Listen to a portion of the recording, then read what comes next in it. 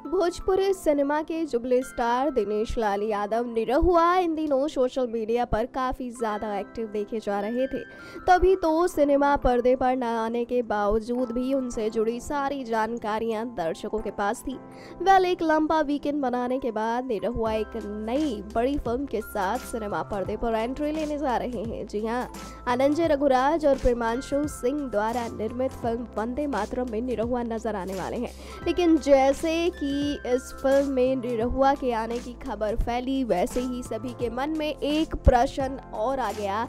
और ये सवाल ये था कि फ़िल्म में पहले खेसारी को साइन किया गया था, फिर क्यों निरहुआ को लिया गया? ये बात सच है कि इस फ़िल्म में पहले खेसारी को साइन किया गया था। लेकिन खेसारी के पास समय की कमी के चलते फ़िल्म मेकर्स ने निरहुआ को साइन कर लिया।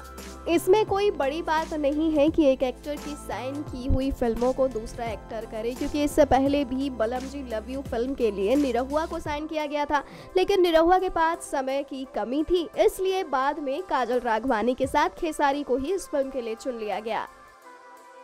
Next to nine news Bhojpuriya से ममता की रिपोर्ट अगर आप भी बनना चाहते हैं एंकर और रिपोर्टर वीडियो एडिटर कैमरामैन या फिर स्क्रिप्ट राइटर तो हमें संपर्क करें।